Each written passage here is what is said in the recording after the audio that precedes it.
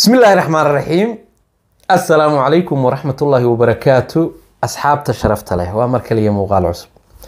Bartan aad iga daawanaysaana weliba waa bartiinii waa barteenii waa bartaan ku kulmi jirnay waa ka hamiliya baro. Waa barlin official raalli ahaada raalli ahaada. Kusoo dhawaada meel laydinka jecel yahay ilaahay ayaa mahad iskale alla ilaahay mahadiisa miyaynu koobi karaynaa waxay ka mugiya miisaan weyn tahay dunida dhammaanteed maasha allah tabaarak allah allahuma salli calaa sayidina muxamed wacalaa aali muxamed kama salayta calaa ibraahima wacalaa aali ibraahim wabaarik calaa muxamedi wacalaa aali muxamed kama baarakta calaa ibraahim wacalaa aali ibraahim inaka xamiid lmajiid walaalayaal qisadeenii ayaynu sii soconaynaa. Waa qisadii gabdhaha isweydhan carruurta ku haysta. Tirada badan odayaasha cayriyey.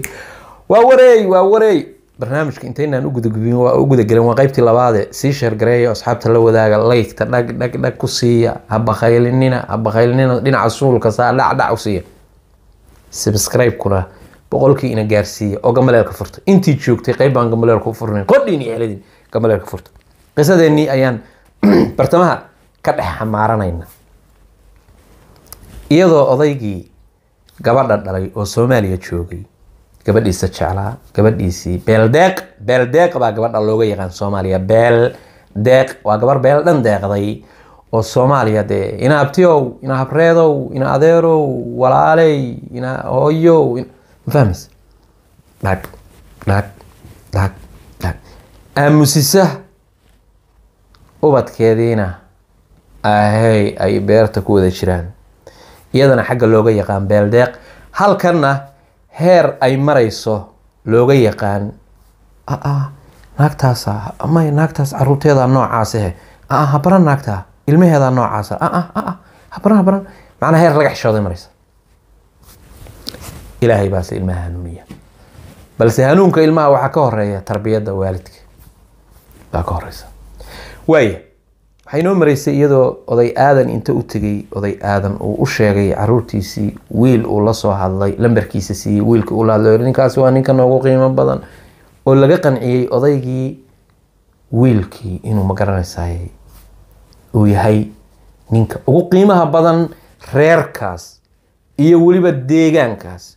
Uuna yahay nin hantiilo ah oo shaqaysta oo magaranaysaay laandheero banaan digay uu yahay laakiin xaaskiisa odayga la hadlaya oo telefoonka loogu sheegaya gabadhaada gabadhaada waa laga faanaa baa layidhi magaalada macna waa laga faanaa. Liajli caruurteeda. Nin walbaba islaantiisa wuxuu ku dhahaa maag mari karti meelahaasay inoo maraysay waayahay odaygii oday soomaaliyeed oo lejan a weye si kasta uu u yahay waa ubadkiisii ninkan aadan ilaahay abaal ha ka mariya sheekh aadanna macnaha garab weyn buu siiyey warbixin fiican buu u sheegay. Odaygu wuxuu yihi mandey waxaa rabaa carruurta inaad soo kaxaysid oo bal ubadkaaga iyo adigu qeyb aanan aragina waa ku jirtaaye bal inaad timaadid oo caruurtii aada soo kaxaysid. Hadda tigid waxay ku soo goostaa mama haysee mayadaaba haysaa shilinba shilin ma u gaaraa aaba waa kharash badan. Kumanaan dollar weeye maaragtay waa kan tigidkuma wax sahlan baa u qabtaa ma meel dhow baa mooday maya. Adugu wuxuu yihi aabe meeqa weeye tigidka carruurta iyo adiga. Waxay tiri go an bag. Waxay noqonayaan lacag fara badan dhowr kun oo dollar. Wuxuu yidhi anaa bixinaya. Adiga lagaagamaba baahnaa carruurta keliya ii keen. Maxaa dhacay? Aaba may inaan aragno wax kastaa dhici kara? Nin waa yeelaanahay waa kan tii alla ii imaan karta. Inaan aragnaana u baahannahay. Hooyadaa aabbaha waka hooyada baan ka wadaa iyo aniga oo aabbahaya buu ku yiri iyo walaalaha kulli waxaan rabnaa inaan maarta marka reerku waa tashadeen reerka gabadh uga dhalatay waa tashadeen waxay ku tashadeen caruurtan in la daba qabto. Ilaa xaaladii odaygii reerka u weynaa hadduu soo ogaaday waxba ma harin. Waxaa la yidhi dhaqaalo yar oo inaga layna siiyo. Waxba inoo tari mayehe tobankaa caruura aynu badbaadino. Waa toban ilaa laba maaha. eh iyadoo hal gabar ah baynu waxayna tartay. Haddii hadhow tobankaas aynu badbaadino tobankuba dee waxbayna tarayaan. Laakiin tobankaasoo aynaan badbaadin way dhaqaaqayaan. Odaygii dadkiibuu saa ula hadlay. Gabadhiina wuxuu ku amray waxaan kaa codsanayaa buu yidhi. Waa in la isoo waca aniga qof kasta waa inuu idhahaa heblaayo lambarkeedaan rabaa. Totally lambarkaaga bedel. Qof aan aniga ahaynna ha siin. Walaalaha ha siin. Odayga inkaarta ku dhacday iyo fidmadan iyo beladan ka hari weyday oo xanuunka gaaray odayga wuxuu aaminsan yahay sheekada xagga ka jirta oo looga dhacay inay tahay. Waana nin dakiya oo caqli badan afjar buu is leeyahay waxaan inuu afjaruu rabaa marka. Taladii waxay kula gudboonaatay odayga gabadhan in uu yidhaahdo telefoonka aada sidatid kaarka simkaarka tuur. Laftaa tuur. Laf cusub soo qaado. Whatsappka tuur. Hal qof oo soomaaliya ah ha qaadan. Walaalaha tuur. Ehelkaa tuur guruubada ka dhex bax waxan oo dhan ka bax. Lambarkaa iska ilow. Kaar cusub waa haddaad ducaa iga rabtid. Aaba lambarkayga dad badan bay gu xiran. Dhadhadh wax badan bay akhriday. Laba farood baa loo taagay. Habaariya mid dooro. Haddaa dhibaato ku haysataa. Walaal hadalkaa dhibaato ku haysataa. Ubadkaagii laba wiil baa xiran oo xabsi ku uray. Haye amarkayga qaado. Haddii kale tobankuba xabsi bay kaa geli doonaan. Sida naagaha la sheegayaad barooran doontaa oo lagaa qaadan doonaa. Maxaa waxaa keenay bay tiri? Maanta ay igu dambeysa haddaan jebinayaaba bismi illaahi raxmaan raxiim gabar soomaaliyeed oo aabeed intay qof weyna wax kala garanaysaa awal ehelkeedii waalidkeed jeclayd. Waxay tiri aaba haddaan kala jebinayaa laf cusub baan qaadanaya. Kiibay kala jebisay? Lambar cusub bay soo qaadatay yaa salaam. Lambarkii hadday soo qaadatay odaygii keligiis. Odaygii wuxuu ogaaday wax uusan ogeyn. Odaygii magaaladii baa safa soo gashay. Saaxiibo iyada ay yaqaaneen gabdho ay iyada taqaanay gabdho ay asxaab ahaayeen gabdhihii ay ma garanaysaa iskuulaadka ahaan jireen oo de isyaqaaneen isku magaalada ahaayeen asxaabta ahaan jireen alla heblaayay isku ciyaal baan ahayn haye. Ilma abti ilma habreed ilma adeer ehelkii qaraabadaydi eedo habar yar oo adeer kulli. Gabadhu waxay ahayd gabar miday labaatan u tuurto doolar miday soddon u tuurto toban midna ma qadin jirin. Sadaqo weeye laakiin waa sadaqo laga ba'ay oo laga hoogay. Sababtoo ah ubadkeedii baa xabsi ugu jira ubadkeedii baa xabsi ugu jira. Wixii dee ilmahaagii aada ka qadisay cid kale dee sadaqo u noqon mayso. Sadaqo kuugu noqon mayso taas. Waana wax la ogyahay. Gabdho badanna waa is ogyihiin gabdhuhu waa gacan furan yihiin. Nabigu wuxuu yihi alayh salatu salaam saas ha noqon saasna ha noqon. Waa laga digay. Dhexdhexaad waa ina ahaataa wasad. Khayr lumuuri awsaduhaa miya. Umuur oo dhan iyo arrin kasta waxaa ugu khayr badan oo ugu fiican dhexdhexaad inaad dhexdhexaad ka waaya gabadhii marka odaygii baa la soo wacaya. Islaantii baa la soo wacay heedha ma hayo anugu? Wiilashii baa la ma hayno. Wallaahi baanan hayn. Wallaahi baanan la hadlin. Lambarkii way iska bedeshay tuurta dadkii xiriirkeedii ma hayaan. Odaygii. Odaygaynu weydiinaynaa odayga kama maaranto. Ama qof aan hooyadeed la soo hadlin baa odaygii la hadlaysa marka gabadhii. Bil baa lalacaa oo la tabay. Xiliyadii dee bilash soo dhex jireen oo wax la heli jiray oo ay dadku shaxaadka maaragta ilaa dadka qaybna waa qayb caadi wax ugu dirto qaybna waa qayb soo dhacdoyda kaga heli jirtay. Marka intii markaa duruufta ku kalifaysay oo dhanba oo rabtayba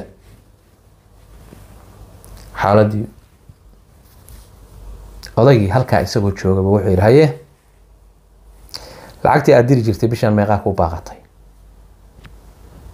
gabadhii waa yaabtay aabaanu maanaa wax diri jiray naa dadkan magaaladan aniga isoo wacaya habeenkii wuxuu galay odaygu booskii guruubada booskii kala shirinta booskii buu galay carruurta yaryarka ahayd iyo ka warhayn iyo inuu yihahdo carruurta iigu dhiib iyo ibar mise walaa xaawla walaa quwata illa billah. Hadalkii xataa kuwii la hadli jiray awood korka ka fuuli jiray ku ciyaari jiray xataa. Af soomaaligii waa ka haaday kala bar. Wax badan baysan garanaynba. Heblaaye meeday hebel meeye waa dadkii isagu saxda u yaqaanay oo ku ciyaari jireen waa kuwaas xabsiga ku jira. Gabadhii wuxuu keenay odaygu inuu u caqli celiyo. Waa aabihii. Waa aabbe aan ka fekerayn isaga dhadhamo markaa halkaa u soo galaysa laakiin ka fekeray maadaama uu xogtii ogaaday ninka caruurtan dhalay inuu nin dahaba yahay oo nin aada u wanaagsan yahay oo magaaladii laga sheegay wadankii looga sheegay gabadhiisana dhibaatada ay tahay iyo sida ay wuxu samaysay iyo khaladaadkeedii kulligiis maaha. Laakiin wuxuun looga sheegay uu ogaaday isagiina dhibaata ku dhacday iyo caruurtiisii. Ninkiina uu la soo hadlay oo dhowr hadal oo aada u qallafsan uu ku yiri oo meeshu u tacsiyeyn lahaa uu yiri weli waxba kuma gaarin camal. Inta hartay baa ka badan uu yiri wuu dareemay inkaaray inay haysato. Marka inkaartii si uu ku xaliyo buu raadinaya habeenkii inuu gabadhii la aabe aabe aabe odaygii inuu xiriir toosa la yeesho. Markuu xaafadda hooyadeed joogana uu hooyadeed la hadal siiyo. Yirahdo la hadal heblaayo. Islaantii hooyadeed ahaydna uu ka dhaadhiciyo. Oo yidhaahdo waxaan rabaa inaan maaragtay gabadhu wax urursato gabadhii waxbay urursatay waxay tiri aabe bisha lixaad marka carruurta iskuulka loo xiro baan soo kacaynaa. Xariifkii weynaa fasixiisii macnaha waxaa ku aadan sii deyntiisii soo laastay. Labadii sano. Labadii sano soo dhammaystay caruurtii iyo arrintii isugu soo aaday ninkii xiriir ma laha. Isagu wuu la soo hadlaa la hadhadlaa laakiin iyadu ma xiriirso ilaa markaa isma garansana isma garansana laakiin wixii soomaaliya buuqii kaga furnaa kaj uu go'ay. Odayga maahaane wax kale kuma furna. Cid walbana markaas dhowr bilood wuxuu gaaray odaygu in isaga lagu soo dabafaylo oo wixii gabadhaas wax uga isaga weydiiyaan isaguna uu yihahdo gabadha ka warqaba caruurteedii baa xabsi ku jira loo yaray u baahan tahay sheekaa laga dhaadhiyey sheekadii odaguna waa oday reer magaala wixii buu fahmay inuu nidaamkii odaygu inuu ku xirmo baraha bulshada dhegeysto xogogaal uu noqdo waxaan jira. Odayaashu b b c ba inta badan isaga xiran yahin moogta inuu xaaladda dhuuxo wax badan ogaado. Nin sideedana odayaashu waa kala duwan yihiin. Nina waa nin iska reer baadiye oo waagii hore baadiye inta ka yimi magaalo soo galayo. La qabsigii magaaladuba ay xoogaa dhib ku hayso. Nina waa nin reer magaal ahaayo aqoon-yahan ahaa oo waxbartay oo social media technolojiyadu mar walba wixii cusub fahmi kara oo la socon kara.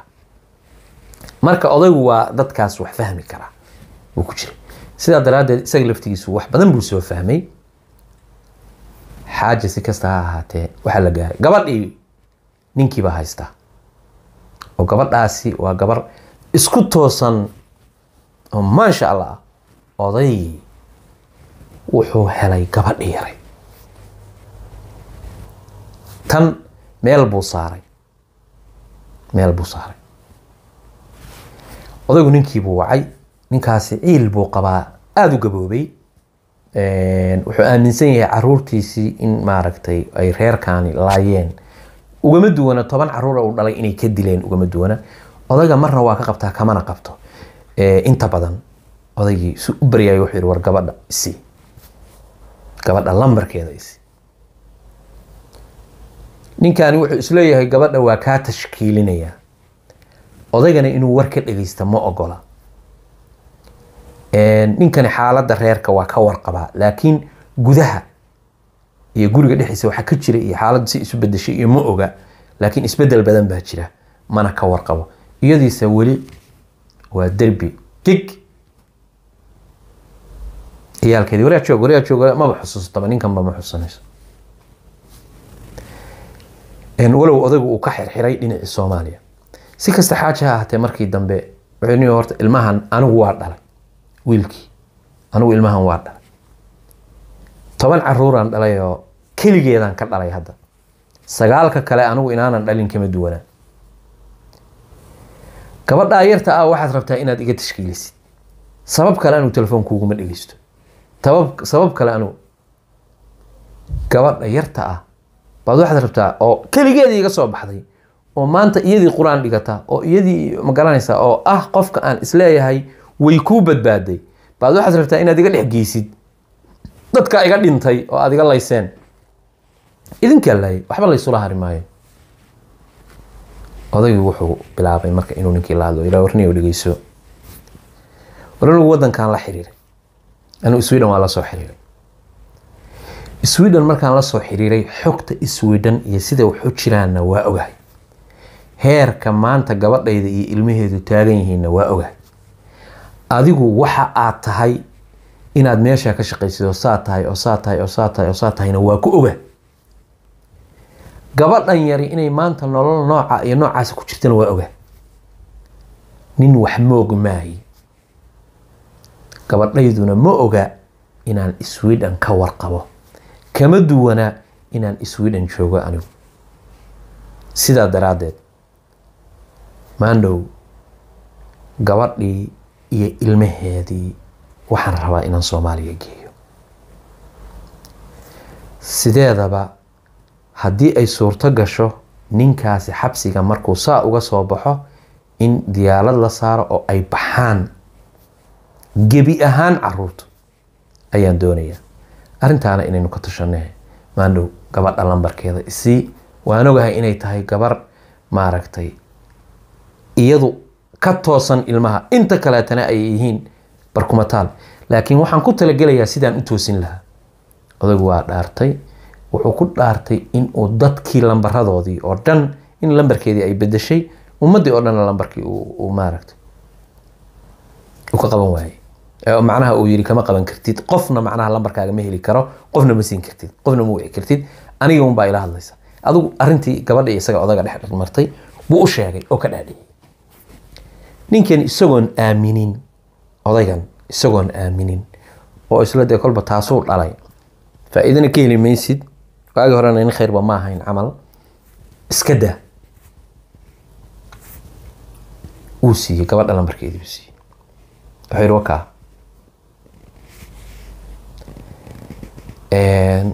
gabadha lambarkeeda waxyaabaha cajiibka waxaa weeye. Lambarka gabadha maamadu waxay haysataa lambar. Lambarka ay haysato way shidaa. Lambarkeedaas hooyadeed way kala hadashaa way salaantaa kadibna waa xirtaa. Laakiin lambarka lay leedahay oo u caadi ah oo gabadhu ay lambarkeedaasay haysataa. Kan hooyadeeda kala hadasho saddexdii maalmood marbay shidaa. Odaygu si kasta kaa waa isugu daya awal oo waa waaye ilaa waa lambar inta la shido maamada lagala hadlayo kadibna la diminayo goormuu helayaa oday africa jooga oo waktigu waa kala noocya waktigu waa kala duwan yahay si kasta xaaja ha ahaato xaaladii gabadhii lambarkeed buu odaygiisii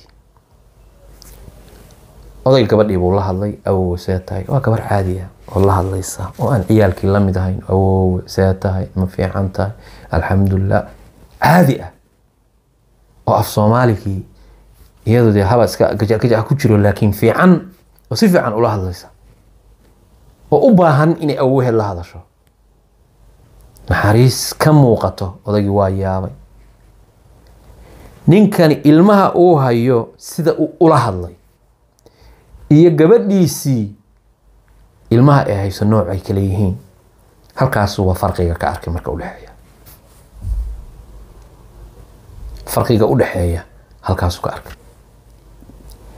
Odaygu markaasu wuxuu bilaabay inuu yiraahdo gabadhi yarayd ula hadlay si fiican ula hadlay oo ka tegey wuxuu bilaabay inuu gabadhii ku noqdo oo yidhaahdo soo baxa hadda hadda hadda ka imaada xataa kaa. Aabe xukunkiisi wuxuu ugu egyahay xilligaa kama tegi kara bay tiri ninkaas. Aniguna ma rabo ilaa waa hooyo ma rabo inuu baddii uu ka baxay sii galo inaan wiilkaa soo kaxeeyaan rabaa. Kolba soomaaliya haddaan geeyo de waa nin weyna hadduu doono isaga dib iska soo laabanaya. Laakiin dhaqaalay u baahan tahay ninkaa inaan soomaaliya sheeko kalaa isaga loo wadaa marka ninkaa aabo inaan ka tago ma rabo. Odayguna wuxuu taagan yahay kani galbay ku kala mooye kaas galbay eh kuwan inuu badbaadiyo rabaa odaygu. Ilaa gabadhii buu la hadlaa.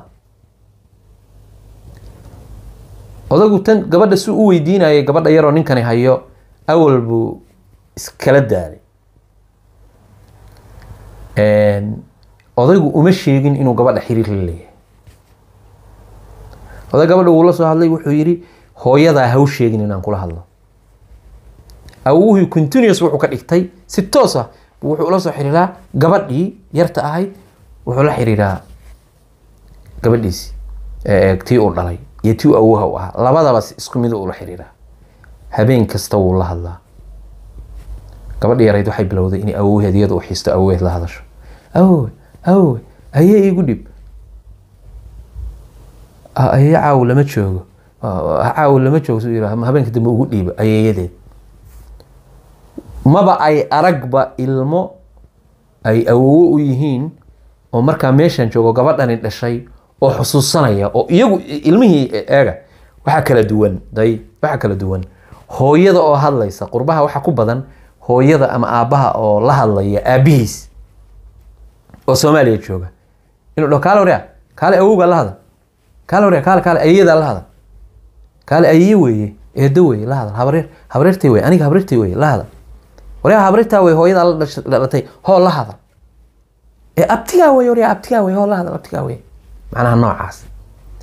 Laakiin ilmo yurub jooga oo yurub ku koray oo ku barbaaray oo isagu wacaya abti abti macaana see tahay? Ma fiicanta xaaladda ka war ama ayeeyo awoowe dhahaya imisaa i daawanaysa oo xanuunkaas dareemi karta oo fahmaysa?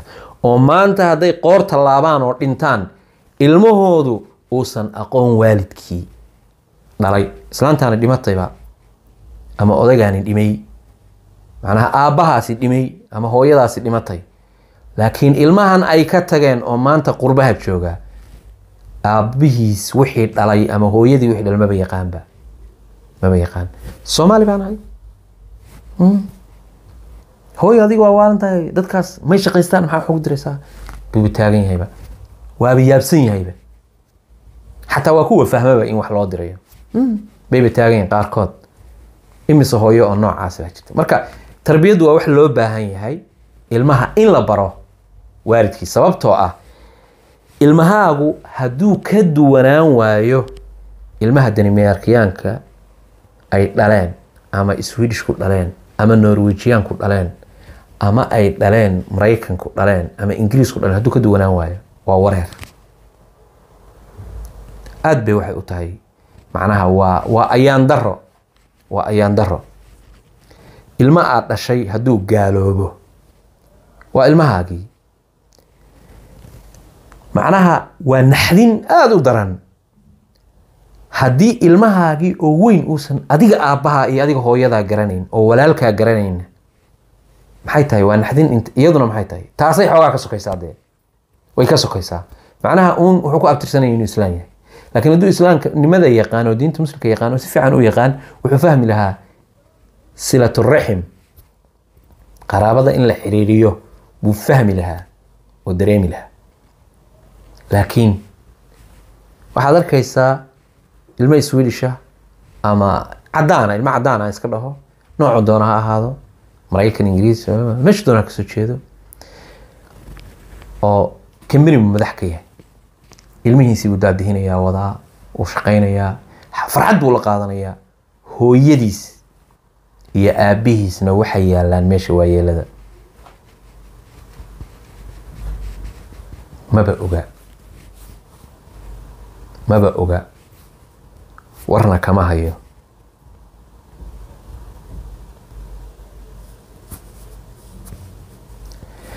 Dhaqankaas marka dhaqan u dhow dhaqan u dhow bay hadda marayaan soomaalida qaarkood. Dhaqan u dhow bay marayaan oo aada buu ugu dhow yahay.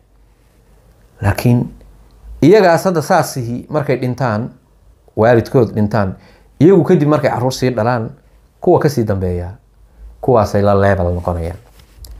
Waaya sheekadeena aan dib ugu soo noqono gabadhii yarta ahayd waxay bilowday ayeeyo awoowe inay tirahdo awow abti maan rabaa awow abti iigu dhiib awow abti hebel. Fahmaysa ay caruurtii xiriiriso iyadu. Because iyadu adeeradeed adeeradeed ruma bay taqaanaa oo la hadashaa. Awowaheed aabaheed dhalay ho-ayadeed aabaheed dhashay bay la hadashaa oo taqaanaa oo la xiriirtaa oo wakti la qaadataa waxbarashadeedana waa number one. Waxaa la gaaray xilligii lixaad bishii lixaad baa la gaaray iskuulaadkii fasxii baa la gaaray. Gabadha odagu wuxuu u diyaariyey lacag wuxuu yihi digid tigidka tigidka anigaa jaraya. Go and bag halkanaan ka jaraya waa nin ka horreeya turkish airways baan kuu jarayaa emailka dhac halkaa ka soo bax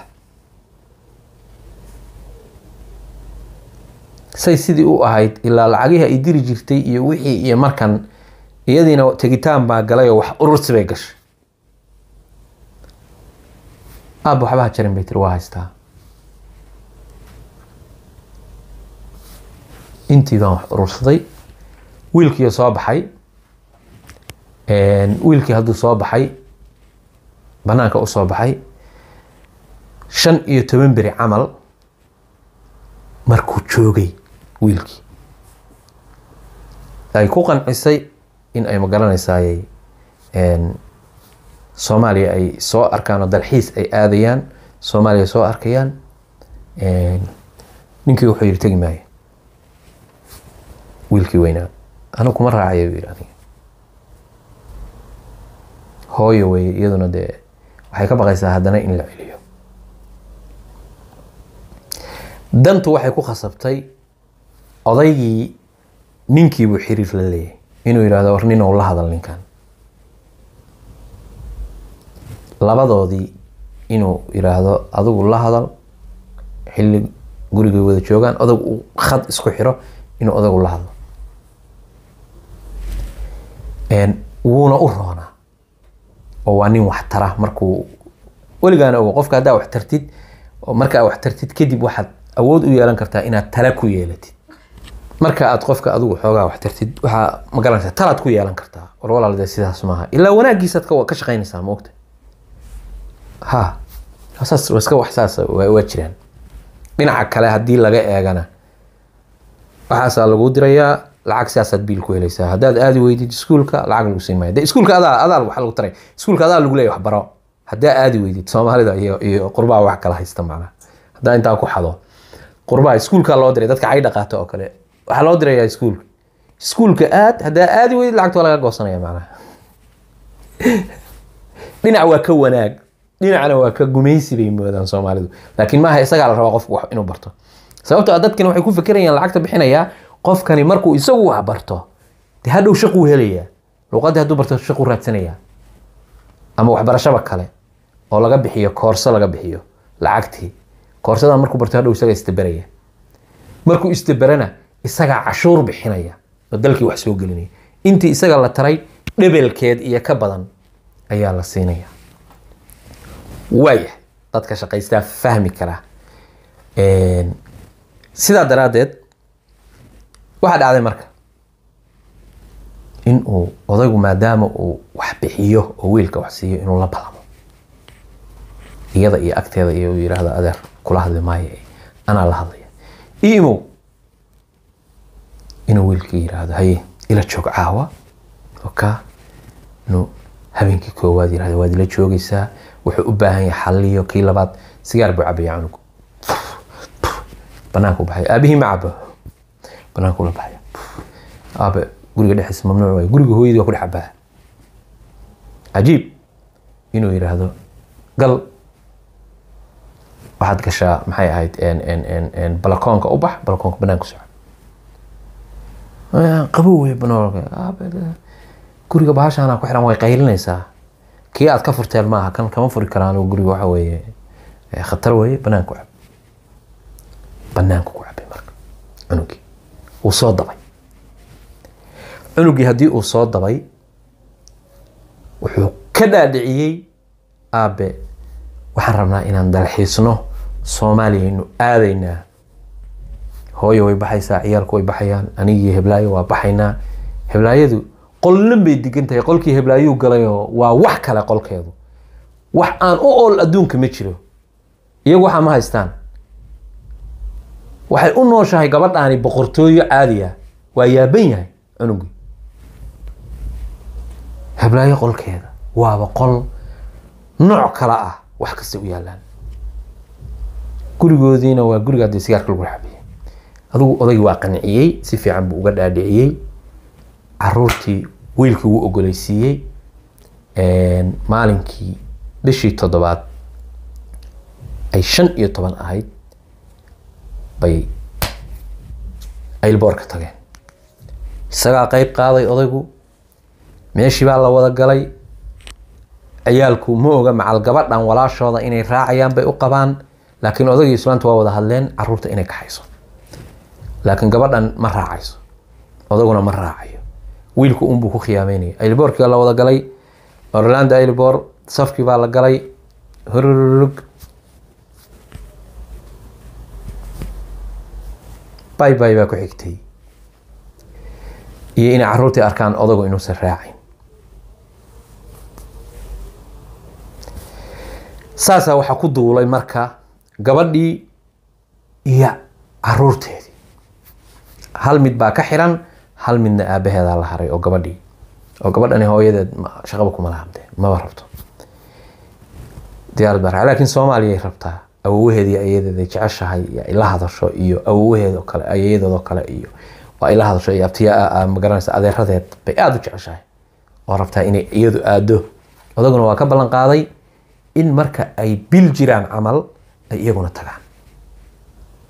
Sidii ayay ku duuleen. War asxaaba intaasaan ku soo gabagabeynayaa qeyb saddexaad oo dhammaadaba yeelanaysa haddii iyo xaaladan oo adkaan doonta laga yaabo jileec noqon doonta xaaladdu sahlanaan doonto way xagaagi doonaan ama xaaladdu kolba waxay ku dambeyn doonto. Qeybta ugu dambeysaad ku ogaan doontaan. Waxaan idin leeyahay qalbi saafiya ku daawada insha allah intaas ayaan ku soo gabagabeynayaayo waxaan idinkaga tegaya salaamullaahi calaykum waraxmatuhi wabarakaatu nooli kulanteed. Waktigu ha inoo wada wacnaado